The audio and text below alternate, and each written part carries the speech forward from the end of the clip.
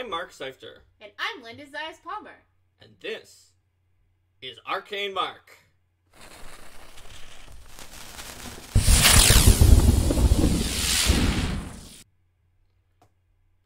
GM. Tools Comedy in Your Game. Which will be even funnier this episode, maybe, or less funny. We're usually probably pretty zany. Mm-hmm. And I'm sure that since it's comedy, we might see our good friend the squirrel. Oh yeah, definitely. The kids upstairs sure are having fun. Yeah, They can. I don't know if you guys can. if you hear can the hear the bumping sound, of them then thundering around. that is people stomping around. All right, so um, today we're just going to talk about how you can put comedy as a as a sort of theme, but or even as a um, a genre into your game, and um, various different ways of inserting it from just situationally inserting it into games of various types all the way up to a pretty much comedy game.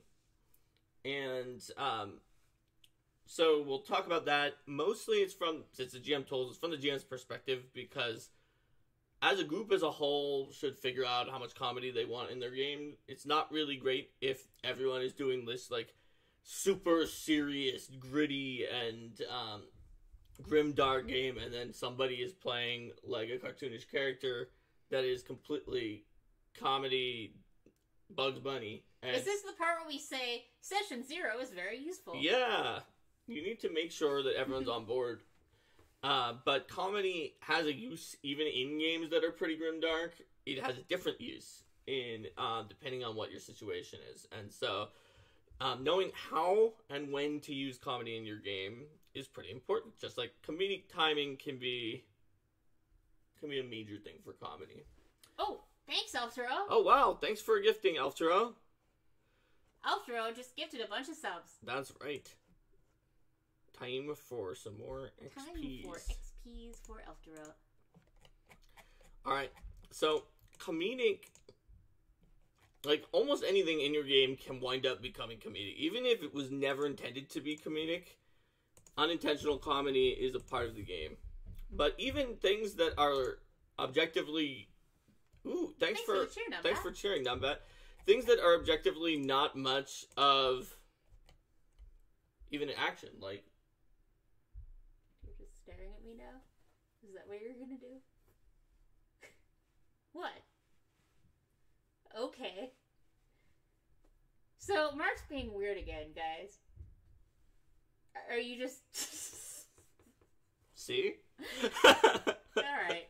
Well, I mean. That aside, or suppose at that point, I mean. A lot of comedy comes from sort of the the unexpected, the the silly, the out there, and the surprising. Um, so I can't say that I'm entirely surprised that Mark decided to stare at me, but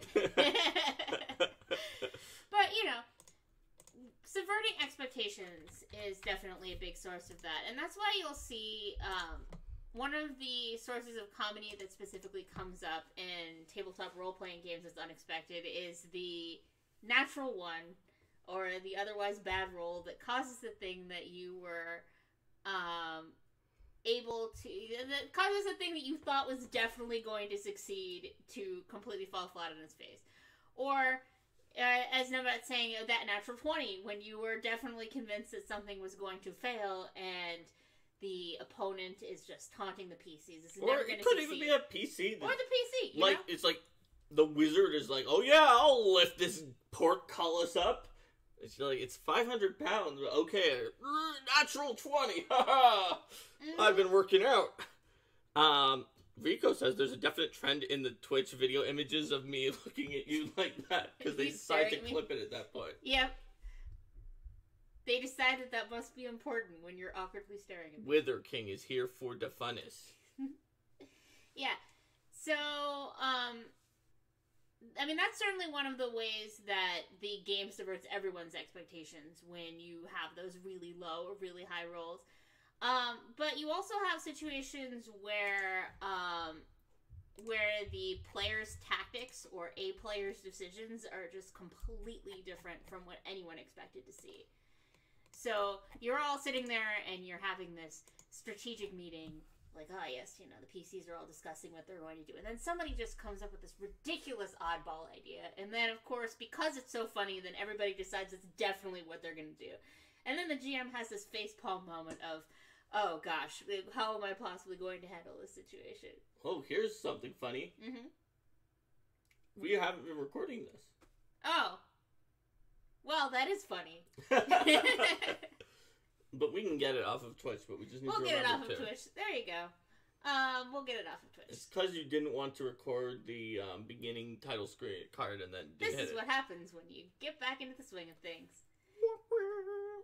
You you you saw a campaign. Wither King saw a campaign where a character had enough strength to lift a skyscraper and then proceeded to flex on the whole dungeon. A Gestalti mythic campaign.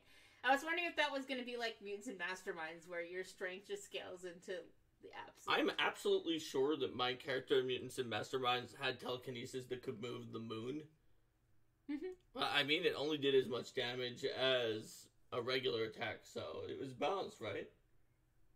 It did as much damage as a regular attack while also throwing the entire tides and everything off. I mean, it, I didn't actually have enough range to do it on the moon, but the amount of mass it could move was uh, uh, was estimated at the moon in in the and Masterminds book. so what? You just take this ridiculously large object and you just go like, boop. Um, Yeah. well, I mean, it did. No, it's not just a boop. It's as much as like a Superman punching you. or- Yeah, yeah, but like if a moon-sized mass boops you a little bit, then you're gonna Yeah. go, you're gonna go flying. Something like that. yeah, But yeah, anything that breaks your expectation, or we talked about the wizard lifting up a portcullis, or just like the barbarian who trained in Arcana for a joke, like getting a really ridiculously hard Arcana question right, is like, ah, Krunk have trained in these ways. This is a uh, a use of the of the spiritual essence combined with the material essence it, to make an amount a, a magical amalgam of the uh, of two of two dichotomies forming an antipodal reaction. Krunk smash. yeah. Well, I think that um, certainly second edition encourages the um, encourages the funny things happening on natural ones for or critical failures in general for um, for recall knowledge and things like that, where you just come up with ridiculous things that people that people know. Oh sure, like one of my best comedy moments in um, demoing Pathfinder Second Edition was when Valeros incorrectly identified a zombie and and was convinced that if you use slashing damage on it, it'll cut it in half into two zombies that will both. let the bottom half will attack you and the top half will attack you. And kept trying to tell Amiri not to do it. And then Amiri's like, I'm gonna do it anyway. And she did so much damage, it, it, she critted, she one shotted the zombie. And she said, see, it didn't do that. And Valeros said, well, sure, if you kill it in one hit, it won't. Yeah. It was very funny. It was like all player led. I think that the player Valeros kind of knew Valeros had misidentified the zombie, but mm-hmm. he kept trying to be like, guys, stop using slashing. And he changed over his his longsword to do piercing because it was able to. This is definitely a case of where it depends upon the player, right? Because some players really like knowing that their character is incorrect and completely leaning into it and they enjoy having it up. Whereas other players just kind of want to brush over when their character gets it wrong or have the other PCs who they know rolled higher convince them Mhm. of, of what the correct thing is. But really, comedy is so dependent on your group and on the situation. So it's more a matter of observing those mo of bringing in the lighthearted moments, bringing in the things that are unexpected, and seeing what people grab onto. And tables get these little memes, these little things that they just keep going back to.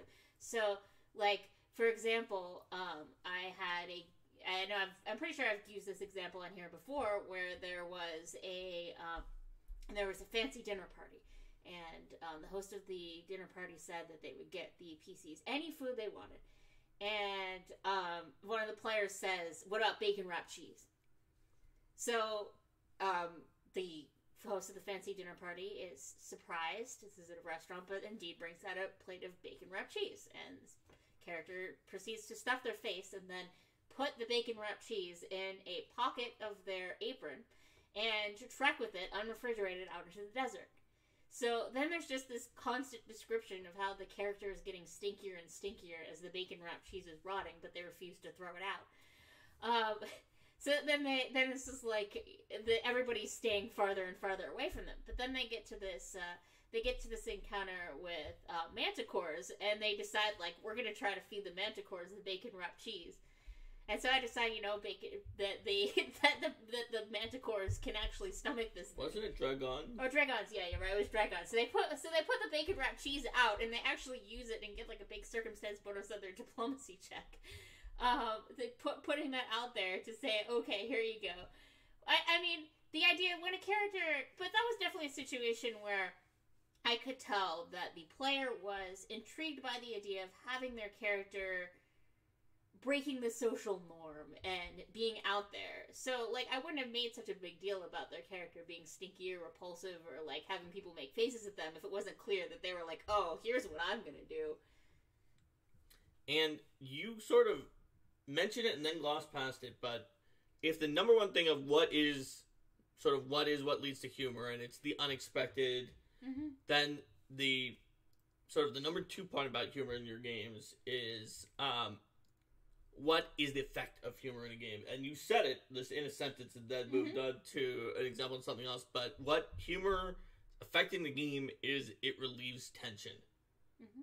Uh, it relieves tension. It, it adds a moment of something light, um, levity, and that's important because of the fact that it could be a piece of metagame humor that you use in your games. Even if you're playing a game where there's not really anything in character that's funny, sometimes there's something that's just funny among the players, Mhm. and you can sometimes, as the GM, use humor of any kind to change the mood in a way that is effective for you, even in a grimdark game. The example I keep going back to when we talked about um, horror and some grimdark games is Macbeth with the drunken porter scene, which is just pure comedy and innuendo and all sorts of weird stuff about this porter talking about how he's drunk and so how that affects certain portions of his anatomy. And this is right after a massive murder and right before the murder has been revealed and the sleepy grooms were being smeared with blood. It's probably at one of the most horrific moments in the play. And it serves as a counterpoint. It relieves the tension. It makes it hit even more home uh, when all of the all of the Alarum bells are being rung and there's murder and treason has been revealed. And that's something to watch for if you're running a more horror type game. If if the um, if the atmosphere is getting pretty heavy and it seems like people are getting a bit weighted down by it, then um, that's an excellent moment to think about. Like, huh, let's bring some comedy in here. Um, Jade Regent. Oh yeah, Wither King, you weren't here. I was like, oh, Wither King's gonna be so happy. Jade Regent won last time. It's actually um, gonna be on Saturday the 18th, so we're gonna finish it, and therefore it's not on there. Yeah, it, won by virtue of foreshadowing and connections winning, and then we realized Linda wouldn't be there for that, and we wanted her there, so we took second place, which was Jade Regent. But that counts as winning, Yay! so that's why you can't find Jade Regent in the So poll. please vote something other than other because Jade. I mean, Regent you could still vote I mean, other, vote but other it wouldn't be a vote for Jade Regent. Yes. If Um, you're if you're unhappy with all of the options, then please vote other and let us know what you. Yeah, let us know what the other is. Which Wither King did. It just was other was Jade Regent. Yep, yep. All right. Um. So, uh, yeah, those with if you keep those two things in mind about what leads to comedy and what are the effects of comedy, that we're just gonna go back to that sort of throughout the rest of this show and talking about when to use it and how to use it. Let's see. Dragon rating at a Weir's game is one of those memes about ridiculous plays that Shimura has enjoyed.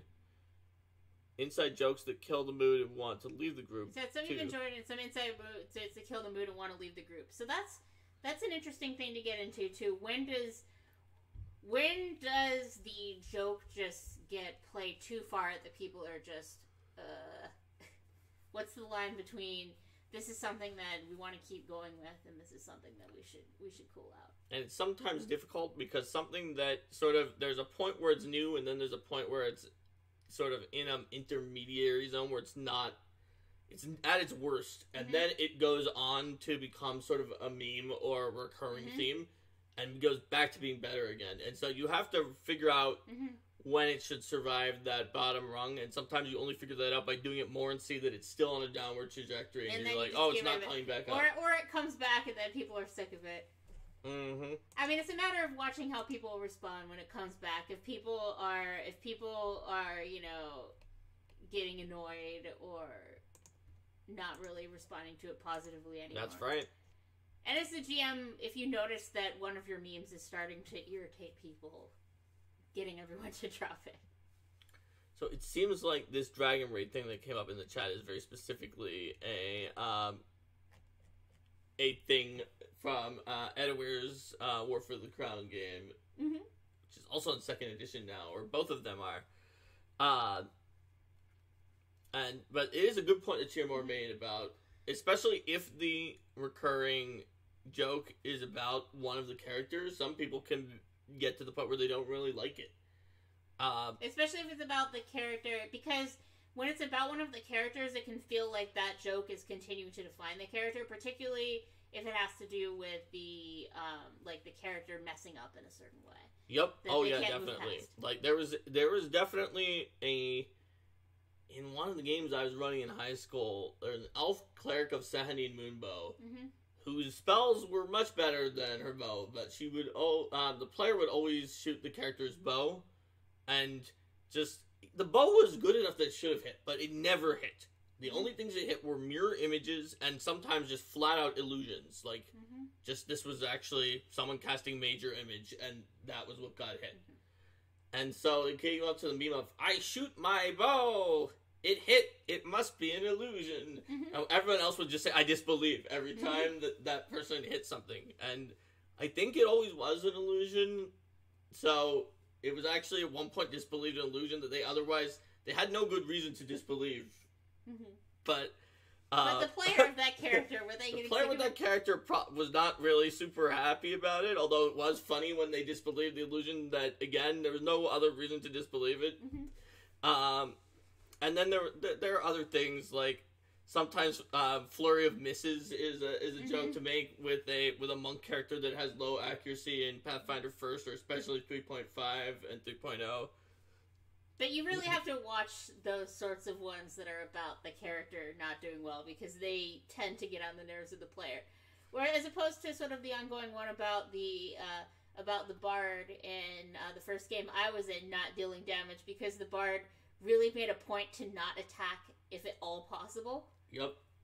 So whenever the bard would be like, and then did the bard does one time, it's like, oh my gosh, the bard's damage counter goes up from seven to eight, and then Yep. like, And then someone did 10. It's like, that's the mo- is more damage than I've dealt for the entire campaign. Yeah, and he, he kept bringing that joke up. So clearly that was something that he he made it as a point of pride that he could almost always come up with something better to do than rolling an attack. Right. And that was like actually in character with the uh, so that was out of character about the damage, but the one about the bow and the illusion in character, people thought that just like Wither King said that the bow would hit an illusion. And then other times you can have things that are just entirely become a running gag or just something that people remember because it was just a weird thing that happened in the game Mhm. and comes up. Like in another game that um, I think I mentioned before on the stream one time, we were running and I was running and my little brother was in this group and they were in the desert and they were about to like die of thirst and they were being chased and they were in big trouble and uh, like the my the my brother's character blacked out.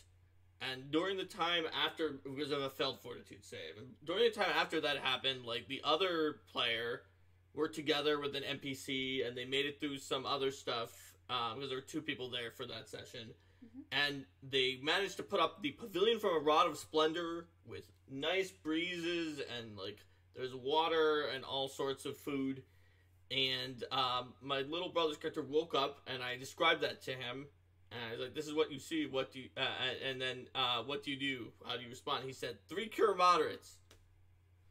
And so that sort of became a joke of sort of like the only response is three cure moderate he cast three cure moderate wounds on himself Yes. so three cure moderates became the sort of the joke uh, in that campaign of when the person just is not reacting in character at all and just uh, is just gonna do the thing. yeah. Because he was knocked out from going to zero hit points from the non-lethal damage Mhm. from the from the sandstorm, but Yeah. so th- th- those are kind of the jokes that just build up in your game, whether you're playing a humor game or not. Just sort of recurring uh, recurring jokes, or like uh, we talked about uh, a little bit when I was talking about War for the Crown game. Just our group has a million different um, theories for who this one particular vigilante is, Mhm. and so that became a joke of just every time there's something they would just say, "Oh, that character might be that vigilante." Three halflings in a trench That coat. was They in got there. Norgorber. Almost every PC. or at least all the PCs that were a little bit sketchy. Yeah. A giant legendary catfish. Yep. Uh, basically Catfish everything. was definitely one of the ones Yeah. that were on there. Um, Are you gonna try to load it up? yeah, maybe, but uh, there was definitely a lot. Yeah, I mean, it was basically just any time that a thing came up, we would come with a new theory that that was actually this vigilante. Yep. Uh, you'll find it in War for the Crown, which is one of our current campaigns. Here we The go. current campaign section. Yep. In the true facts about Yeah, but I don't want to actually give anything away. But it was like, yeah, Yeah. there's a PC, summoned monster summoned by the PC, a bunch of NPCs, uh, a catfish. Um, we're teamed up with the catfish. Uh, is part lion. Uh, a bunch of different things. is from Galtz is Yeah, a is an undead spirit of a lake. Um, is is someone from a completely different city. Um, there's a lot of. oh that was the group of halfling charioteers in a trench coat. Yep. That's that. That is definitely Mm-hmm. a theory that we had. It's not actually a serious serious theory, but we just every time that something came up. Or Or it? Norberger says Chiamor's pretty Norburgers. tough. Yes, Norburgers Mhm. could be another one. You definitely have the situations where there are NPCs that are totally intended to be serious NPCs, and then that's not how the players interpret them. Oh, at yeah. all. We we definitely have, and just as a group, just taken some characters to be just humorous and or or mocking, uh, laughing stock characters. I would say that generally, as a GM, if your PCs decide that a character is a humorous character, even if you intended for them to be serious, they're a humorous character now. Like, there's no point in fighting against the PCs being the players being amused by something. There was also um, sometimes um, you sometimes there are humor in characters' names, and while published adventures really try not to make a name that you're just gonna read off and it's automatically a joke name, just sometimes when you make a name, it's gonna be funny. That's okay, um, and or sometimes just a name will stick. Like when Linda was trying to come up with a name for a bard, and we just called the bard Thaddeus A. Bard or that bard, not that bard, but that bard. Thaddeus A. Because you kept calling the bard that bard. Yep, and so and then it became Thaddeus you said that bard. Yes. It was Thaddeus with two T T H A T T E U S. This is what Mark will do if you're GM and you don't come up with a proper Or the time that I mentioned in Kingmaker um, to you guys on a, on a previous stream, but you guys might not have seen it, about how um, there was a character named Anton the Trapper that was just a random basic trapper who had been in one hex at one point in time. Mhm. And we had a wiki with so many different descriptions that I wrote up a giant description of the backstory of Anton the Trapper, which was based on Anton Chekhov and is a lot of words long. We've read that in a previous Yes, one. I'm so not going to read it, but just uh, and then Linda just Linda is way longer than also like any of the characters in the actual campaign, and um, Linda decided it was canon about Yes. Anton the Trapper, and he became a playwright. And uh, let's see, how long is Anton the Trapper? It is two thousand eight hundred sixty-six words. Yes. One of the fun things that happen was when you have an open wiki for everyone to edit. yep. Uh, Joe brought up the point that sometimes it derails the GM's plans when there's a character that you intended to be more serious who then becomes comedic. Well, one thing you can do with that is the players, the characters are seeing it as a comedic situation because they they seriously defeated this person, they humiliated them. Then you can have a reversal in that case where the character comes back and they may still see it in a comedic light, but they're still very capable. So it could sort of become more of funny in some ways, but also darker because of the increased challenge that comes about from it. So what? Or maybe, or maybe then you allow some of the comedy to transfer of that of that NPC who you want to be more capable to transfer onto a minion of that villain, so you can still have that comedic value without uh, without necessarily forcing your BBEG to be a laughing stock.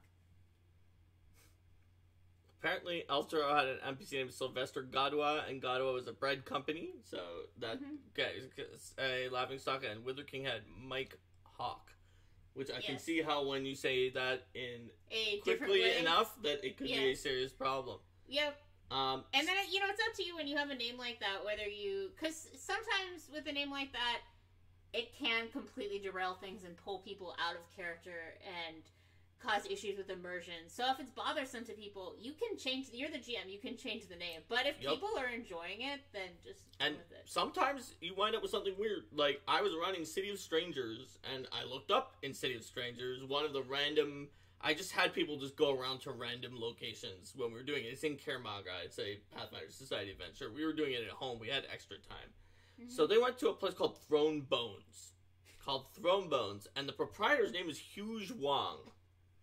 That's his name. And he, he, he he's the proprietor of Throne Bones, which is a type of um, it's a gambling establishment. that in derailed our that derailed our session into about thirty minutes of innuendo. So when we when we did that, like the I think the first thing James Sutter ever responded to me or said to me in text is when I posted asking whether or not that was intentional, and he said that it wasn't, but that um, that that's okay because it's hilarious. Mhm.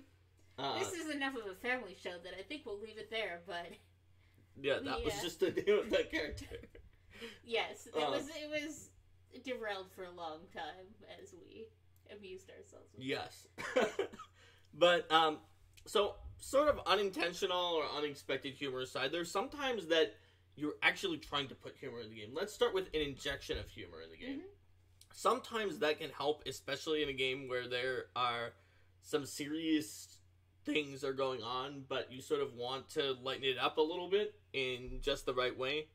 Before we do it, though, Risky said that once their uh, PCs went to the witch market and the stall seller they interacted with was a talking lemming with a stovepipe hat, they immediately regretted many life decisions. Why would you regret your life decisions if you get to talk to a lemming in a stovepipe hat? Yeah. Um, so, like, for example, the first adventure of um, Skull and Shackles, it's no spoiler to say because you start there, your characters are press ganged into a pirate ship. You literally start press ganged into a pirate ship. And that's some pretty dark stuff. Like, it's not a very, it's not a friendly pirate ship. They're press ganging people. There's some bad situations that are going on. And part of what lightened up that situation for um for the group was the fact that some of the character well very particularly the the spirit animal of the wave shaman Mm-hmm. pontus the tide pool dragon although we were first level so i think we was using like a swoop lizard stats for Yeah, a I baby used tide pool food dragon lizard stats for a baby tadpole dragon because I wanted you to have a tadpole dragon from Yes. the beginning. So Pontus the Tidepole Dragon, while while while Hector the, the Wave Shaman was a very serious character, Pontus the Tidepole Dragon is not a very serious character. No, he's not. Yee. Um, Pontus the Tidepole Dragon, um, Linda's favorite character from that campaign, um, was constantly doing weird stuff. For example, um, Hector's sister Rin, uh, the swashbuckler, was had the trait to be like chosen of Besmara, and so the Tidepole Dragon was convinced that that the Tidepole Dragon needed to indicate this to everyone Mm-hmm. uh, because he was an emissary of the sea. So he would just create harbingers of bad luck that were the displeasure of Besmara anytime the um, that Rin was punished on board the ship, like unfairly.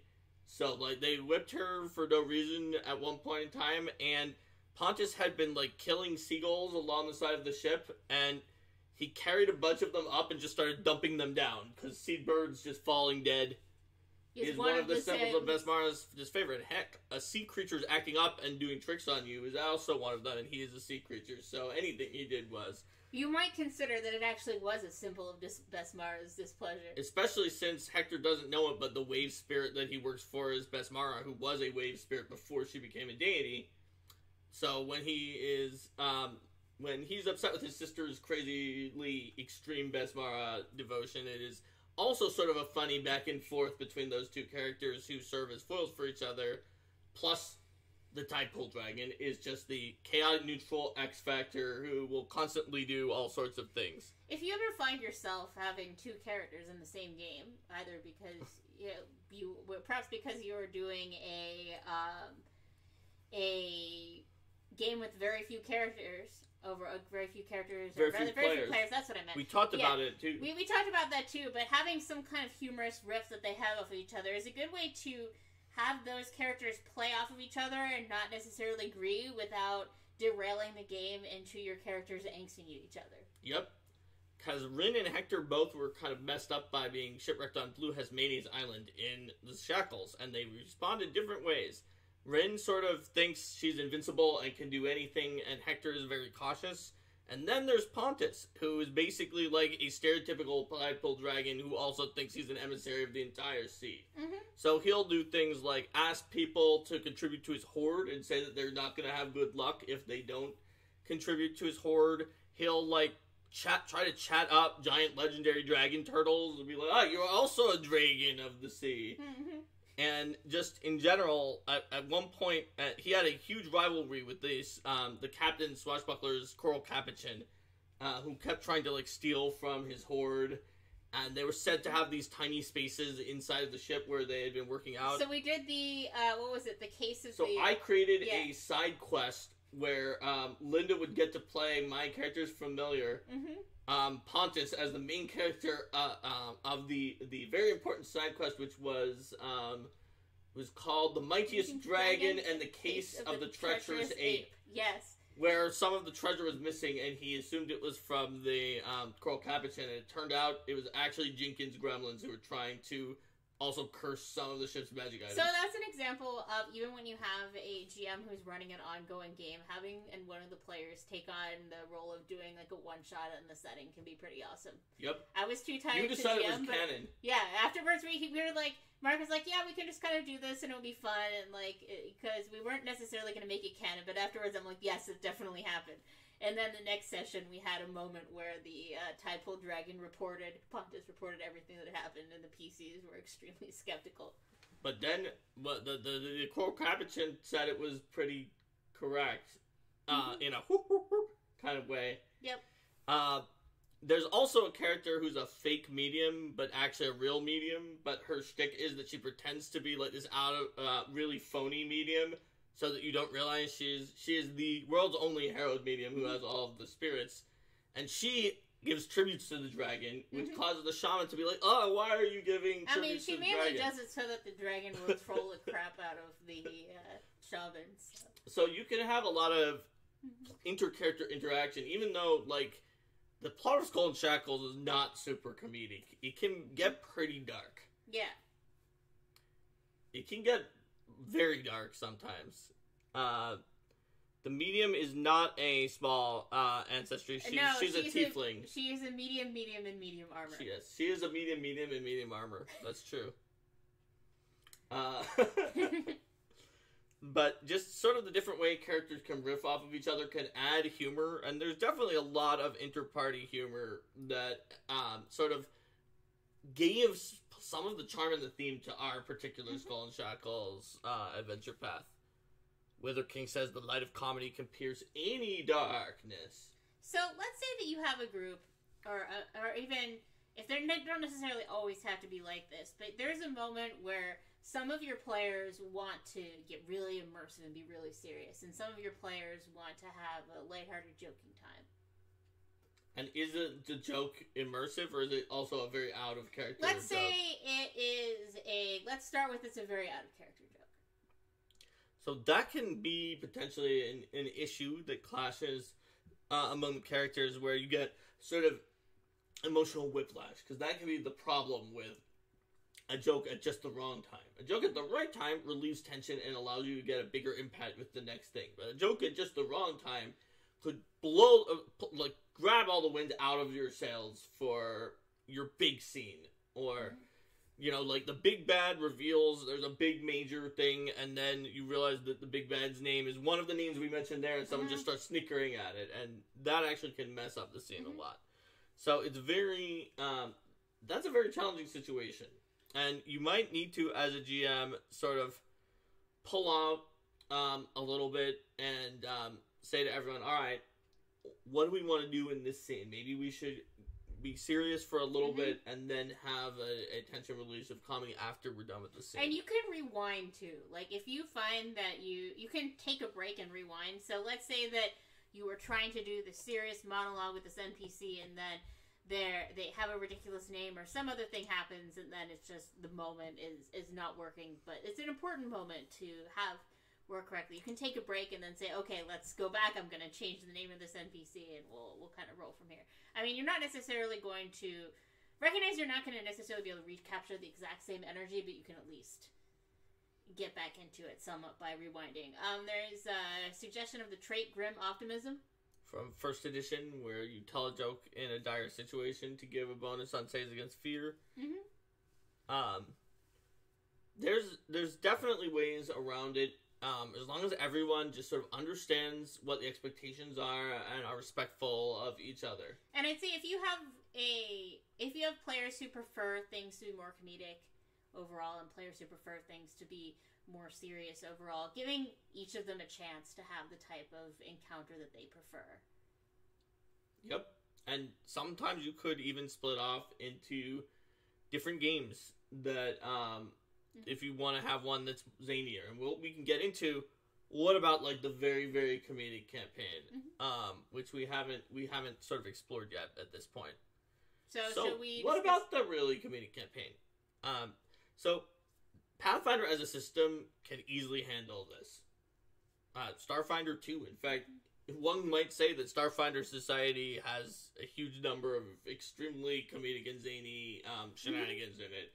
Just to begin with, Starfinder Society has a lot of zany shenanigans, and then it has these moments where it's like, wow, that's, That's really so dark. But right, it works Yeah, because yeah. you have the zany shenanigans and then the whoa, and uh, it can tell a very expressive variety of stories. But I found like to me, Starfinder is the most fun when it's just outlandishly silly. Yeah. Uh, I really like it for telling those stories, whereas, uh, uh, and then that makes the dark stories really shine, although they're dark, so the darkness doesn't shine, but Yeah. in the way that darkness can shine. Yeah. Uh, let's see. The trait offers an emerald chance for your puns. Oh, I see. That's the thing about Grim Optimism that Oh, people yes. like. but um, so when it comes to running a very comedic campaign, in that one, for sure, you want to have characters who have a shtick. Hmm Something that's actually going to be funny if they keep doing that shtick, eh, rather than something that is only funny. Um, there's only funny the first time, and then you're gonna beat it to death. Yeah, and having interactive shticks so that characters have their relationships among each other that evolve in funny ways. I mean, evolution is really important for that sort of thing. So that the character may have, you know, you don't want for a comedy game to have the character always says catchphrase. Like, that's the kind of thing that gets old. But the character having a certain way of responding to situations. Yep. Or just they could have a mini thing like Pontus among his things always says ye and then Mm-hmm. Yes. he says dragon instead of Yes. dragon.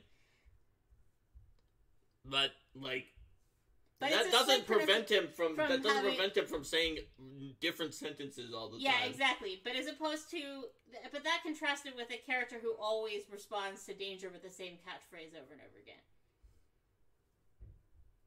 Yep. Like if they always respond to danger with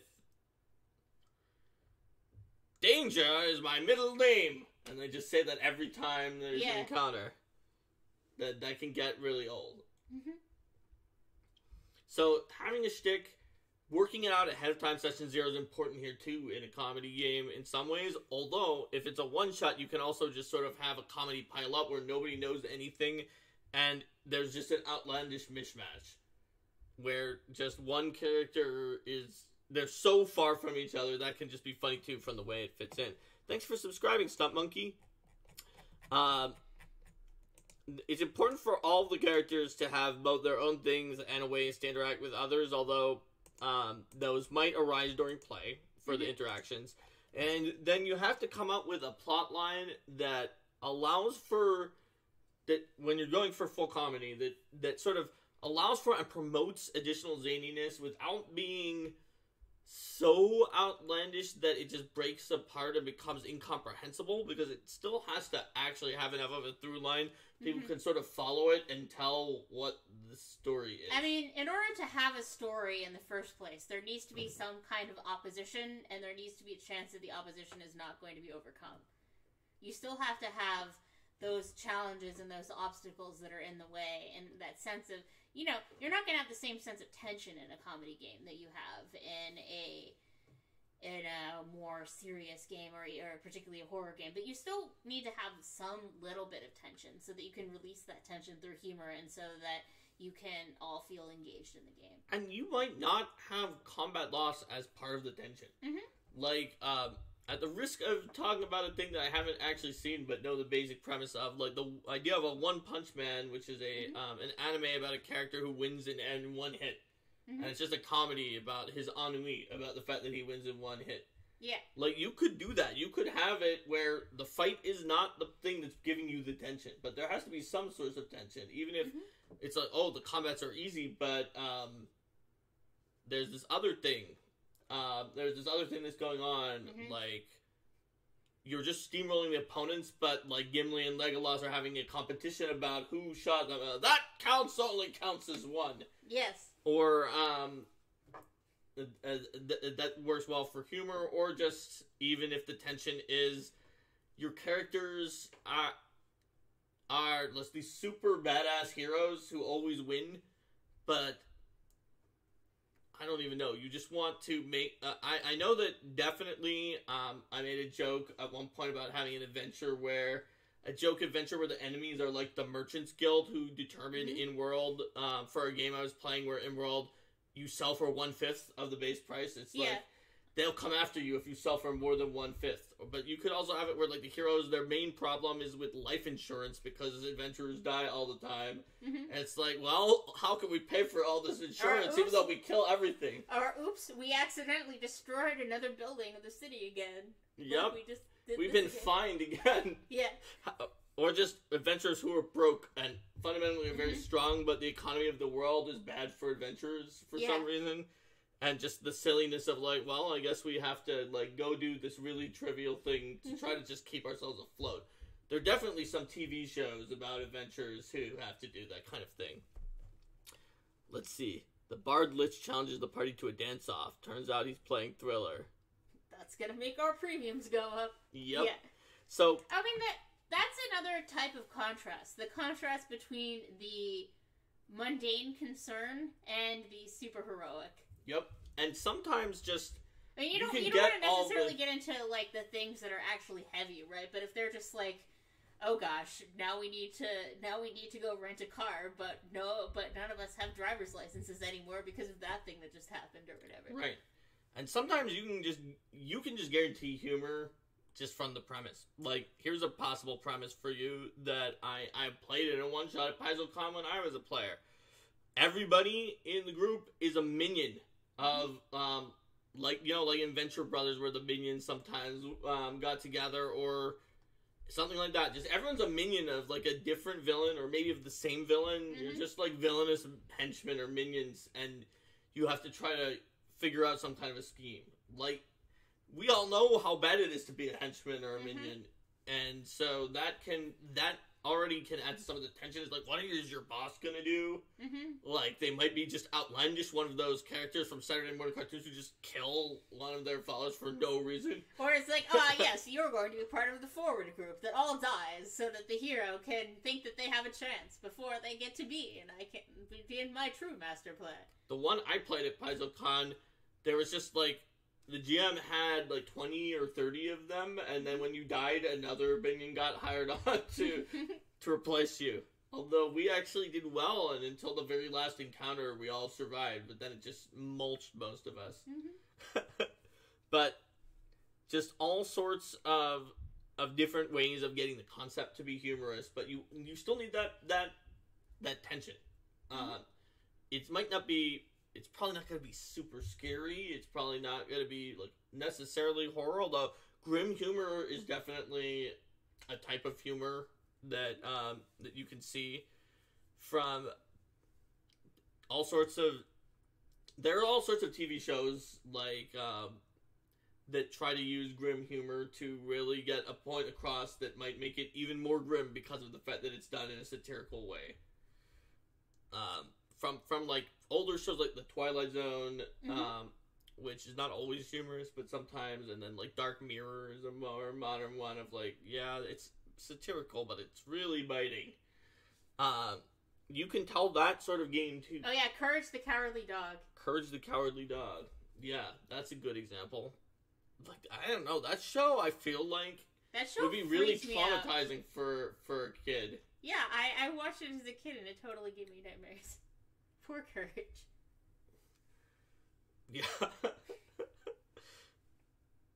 so yeah, Courage the Cowardly Dog is a great example of that. Uh, so uh, that's an example of how to make an entirely comedy game, whether it's grim, whether it's just sort of rollicking comedy, whether you you still have tension from like difficult battles, even though everything is very funny.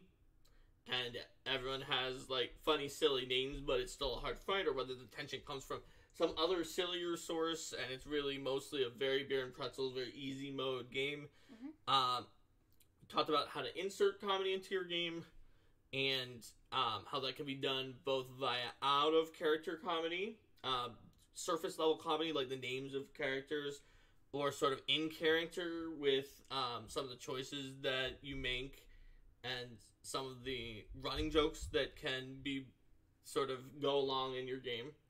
Does anyone else have any questions about comedy or some issues you came across um, running comedy in your game that we haven't covered yet?